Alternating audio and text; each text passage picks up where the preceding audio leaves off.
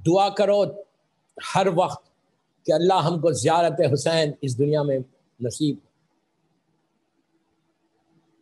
चौबीस घंटे तुम्हारी जबान पे ये कलेमात हो और आज का ये मखसूस दिन जो मेरे इमाम से मंसूब इस इमाम का वास्ता देकर अल्लाह की बारगाह में दुआ करो कि अल्लाह जख्मी फिर दुनिया ज़्यारत हुसैन।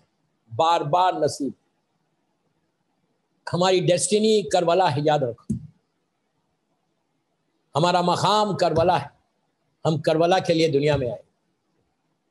और ये भी दुआ करो उसके साथ कि अल्लाह मरजुकनी शफात अल हुसैन और हमको हुसैन की शफात नसीब दोस्तों, ये अजीब बात है, हर मासूम की शफात चलेगी।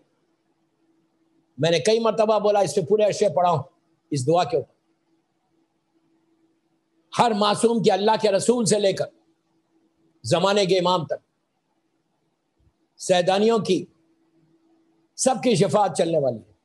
और रसूल काफ़ी की रिवायत भी है छठे इमाम की, कि इमाम ने शाह फरमाया कि हम अपने शियों की शफात करेंगे। शहजादी कौनैन का वो नाम फातिमा रखा इसलिए गया, कि जिसका मतलब ही ये, कि मादर हुसैन एक बहुत बड़े ग्रोह को जहन्नम की आग से रोज़े हमेशा बचा लेगी। सबकी शफात चलेगी, लेकिन दुआ किसी के लिए नहीं इमाम अली के लिए ये दुआ नहीं। मैं कोई कंपेयर नहीं कर रहा। सब अपने मकाम पर सही। सबका मकाम एक ही। लेकिन मौला हुसैन के लिए सिर्फ़ ये दुआ रखी गई।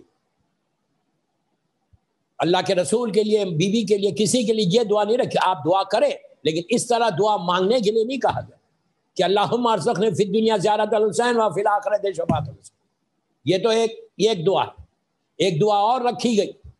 जो ज्यारत आशूरा में, जो ज्यारत आशूरा का पीक, पूरी ज्यारत कंप्लीट होने के बाद, हम सजदे में जाके ये दुआ करते हैं। जो जहाँ पे ज्यारत आशूरा ख़त्म होती, सजदे में जाके कहते हैं अल्लाहने शफात अल हुसैन यौम बरूद ये वही यौम बरूद ये वही लहद, वो पहली रात कि जहाँ से एक नई ज़िंदगी शुरू होती उस रात में शफात अल हुसैन मिल जाए। दोस्तों, ये दो चीज़ें, दो दुआएँ अपने विर्द रखो इसका, विर्द रखो। चौबीस घंटे तुम्हारी जबान पे ये जुमला कि अल्लाह मुझे मौला हुसैन की ज्यारत नसीब हो और शफात अल हुसैन नसीब अगर ये तुमको मिल गया तो समझो तुम्हारा मकसद पूरा हो गया। ये बहुत बड़ी दुआ है, हम इजी ले रहे। हम कितनी दफ़ा पुकारते हैं, कितनी दफ़ा ये दुआ करते हैं। एक हज़ार दुआएँ हमारी। आप एक हज़ार दुआएँ मांगे, लेकिन अपनी सारी दुआओं में ये दुआ को भी ऐड करो। खलूद में चलते फिरते। ये ज़रूरी नहीं है कि वज़ू से रहो। वज़ू से है तो बहुत अच्छी बात। गाड़ी चला रहे, बैठे हुए। ये पढ़ के निकलो, देखो तुम्हारे हालात कैसे बदलते कैसे तुम्हारे काम बनते तस्वुर हुसैन तुम्हारे जहन में आएगा। मकाम हुसैन तुम्हारी जहन में आएगा। करबला की जियारत की इंपॉर्टेंस तुमको आएगी। तुम्हारे दिल में वो ख्वाहिश पैदा होगी।